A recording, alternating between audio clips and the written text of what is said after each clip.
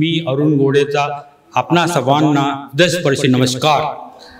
माझ्या कवितेचे शीर्षक आहे कटकट मी सर्वप्रथम इथे सर्व उपस्थित स्त्रिया आहे त्यांची पहिलेच माफी मागून घेतो की नंतर त्यांनी माझ्यावर चपला थोडासा वर्षाव करू नये.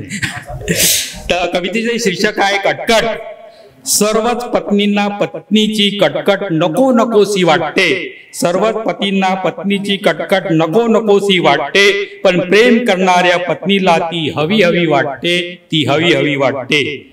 सर्व मनासारखी असताना ती कटकट सारखी का करते? सर्व मनासारखी असताना ती कटकट का करते? याचा खुलासा कोणचीच पत्नी कधीच पतीला करत नसते करत नसते. कटकटीच्या अस्त्राने पतीचा मर्दपणा ती मोजत असते.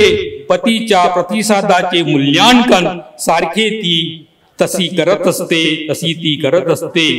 म्हणून जसे जसे लग्नाचे सारखे वर्ष वाढत असते तसा तसा तिच्या कटकटीचा व्याप अवधी वाढत असते वाढत असते.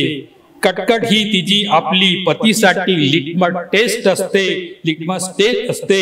पतीच्या मर्दांगीची पीएच नेहमी ती नेहमीच मोजत असते मोजत असते. तिच्या पतीची पीएच नेहमी स्थिर व कायम असावी. म्हणून ती कटकटीची झड सारखी पतीला लावत असते पतीला लावत असते.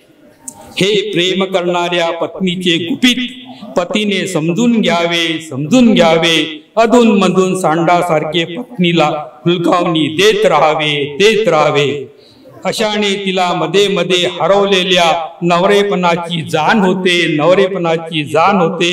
अजून नवरा बैल झाला नाही अजून नवरा बैल झाला नाही.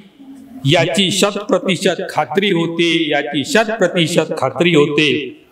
पती बैल झाला की मग पत्नीचा आत्मविश्वास डगमावतो डगमगावतो. पतीची पिय स्थिर व्हावी म्हणून कटकटीचा डोस ती घडवते पती पतीच पतीची पिय स्थिर व्हावी म्हणून ती कटकटीचा डोस ती वाढवते. कटकटीच्या गुंताळा बियातून तिला कधी बाहेर काढा कसे तिला बाहेर काढावे?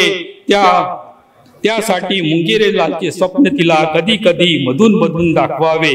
कटकटीचे लुप्त झालेले जुन्या प्रेमाची आठवण पतीला होते. जुन्या रेशम गाठींनी पतीची पियच पत्नी यथावत करते यथावत करते. धन्यवाद.